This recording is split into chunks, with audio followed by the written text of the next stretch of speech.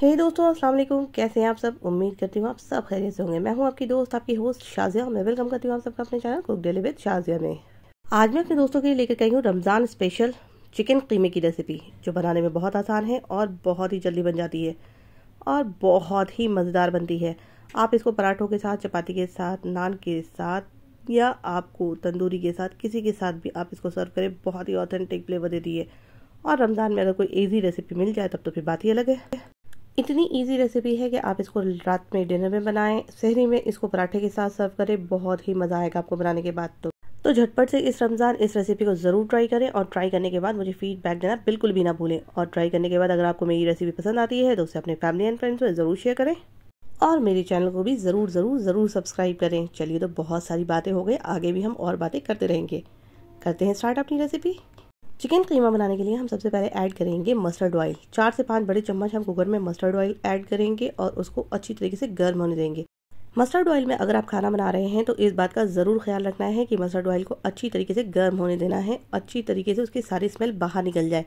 अगर हम mustard oil को अच्छी तरीके से गर्म नहीं करेंगे तो उसकी रॉ स्मेल आपके सारी मेहनत पे पानी फेर देगी। इसको अच्छी तरीके से गर्म होने दे, जब भाप ऊपर आने लगे, तब हम इसमें ऐड करेंगे तीन से चार मीडियम साइज़ की प्याज को फाइनली स्लाइस करके। अच्छी तरीके से उसको हम ऐड करने के बाद तेल के साथ इसकी भुनाई करेंगे प्रॉपर प्याज को हमें तब तक पकाना है जब तक ये थोड़ी सॉफ्ट और टेंडर ना हो जाए। साथ में हम प्याज के ऐड करेंगे डेढ़ से दो चम्मच नमक के। नमक आप अपने अकॉर्डिंग कम या ज़्यादा कर सकते हैं। क्योंकि बहुत सारे लोग नमक कम खाना पसंद करते हैं और कुछ लोग नमक ज़्यादा खाना पसंद करते हैं तो इसलिए नमक का प्रेफर आप अपने अकॉर्डिंग कर लें कि नमक अगर आपको कम खाना है तो कम यूज़ कर लें और ज़्यादा खाना है तो ज़्यादा यूज़ कर लें। जैसे ही हमारी प्याज थोड़ी सॉफ्ट और टेंडर हो जाएगी, तब हम इसमें ऐड करेंगे अपने कीमे को। इस प्रोसेस को कंप्लीट करने में तकरीबन पाँच से सात मिनट लगते हैं। जैसे ही हमारी सॉफ्ट हो जाएगी प्याज, हम इस पर ऐड करेंगे कीमा। कीमा मैंने यहाँ पर तकरीबन आधा किलो यूज़ करा है। यहाँ पर चिकन का कीमा मैंने घर में तैयार करा है पीस करके मिक्सी के अंदर। आप चाहें तो बाज़ार का पीसा हुआ कीमा यूज़ कर लीजिए। लेकिन बहुत सारी जगह पर चिकन का कीमा अवेलेबल नहीं हो पाता है तो इसलिए मैं आपको बता रही हूँ कि अगर आपके पास चिकन का कीमा अवेलेबल नहीं है तो आप चिकन की सूखी सूखी बोटियों को कीमे की तरह ट्रांसफ़र कर सकते हैं मिक्सी में पीस कर चिकन का कीमा बहुत आसानी के साथ चॉपर में भी तैयार हो जाता है। आप जिसमें भी आप आसानी के साथ आपको कीमा बन जाए, आप उसके अंदर कीमा तैयार कर लीजिए और फिर उसको यहाँ पर ऐड कर लीजिए।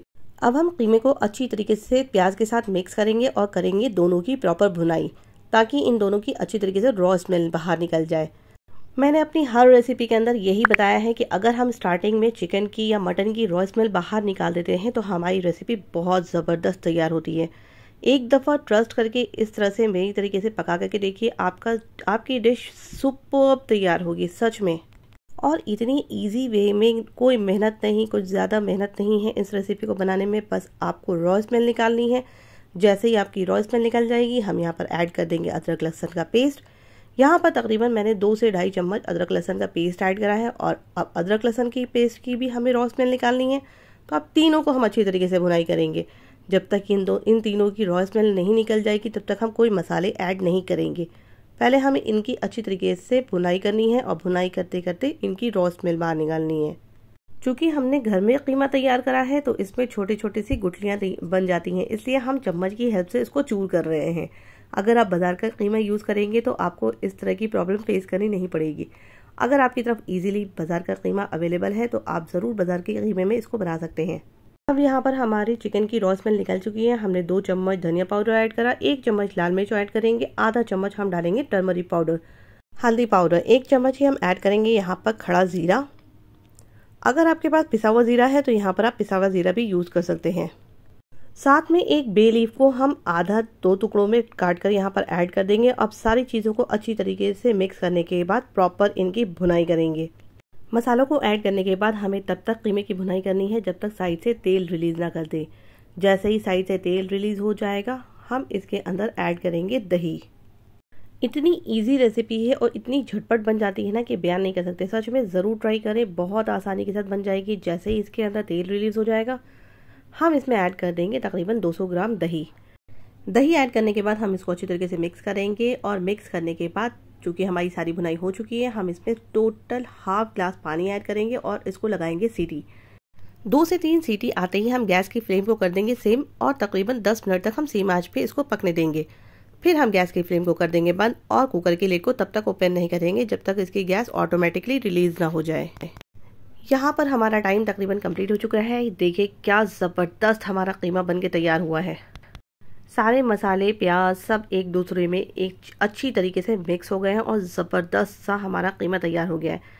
जो थोड़ा बहुत पानी है, उसको हम अच्छी तरीके से तेज़ आँच के ऊपर करके, भुनाई करके सुखा लेंगे और हमारा बिल्कुल परफेक्ट सा कीमा चिकन का तैयार हो जाएगा।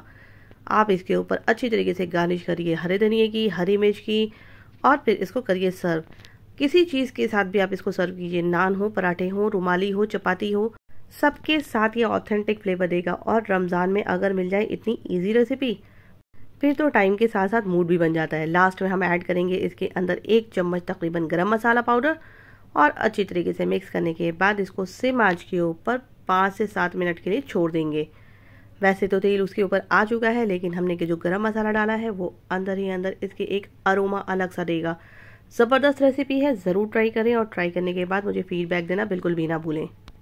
घर के बच्चे, बुज़ुर्ग, बड़ों सबको ये रेसिपी ज़रूर पसंद आने वाली है। साथ में मैंने कहा लास्ट में आप हरी मिर्ची और हरी धनिया ऐड करना बिल्कुल भी ना भूलें, जिससे इसका फ्लेवर और भी ज़्यादा इन्हेंस हो जाएगा। बस क्या है, हमारी रेसिपी पूरी तरीके से तैयार हो चुकी है। अब हम करेंगे इसकी प्लेटिंग चलिए तो मेरी ये झटपट सी, फटाफट से बनने वाली चिकन की रेसिपी आपको पसंद आई हो तो मेरी रेसिपी को कर दीजिएगा लाइक चैनल को कर दीजिएगा सब्सक्राइब। और सब्सक्राइब करने के बाद आपको पता है ना कि क्या करना है? सब्सक्राइब करने के बाद बेल आइकन का बटन प्रेस करना बिल्कुल भी नहीं भूलना है, जिससे मेरी आने वाली हर नई वीडियोस की अपडेट आप तक मिलती रहेगी। टिलन आपकी दोस्त, आपकी होस्ट आपसे विदा चाहती है। फिर इंशाल्लाह नई नई वीडियोस और नई नई रेसिपीज़ के साथ आपसे मुलाकातें होती रहेंगी। तब तक अपना ख्याल रखिए, दुआओं में बहुत बहुत बहुत याद रखिए। अल्लाह हाफिज़। Enjoy your chicken keema.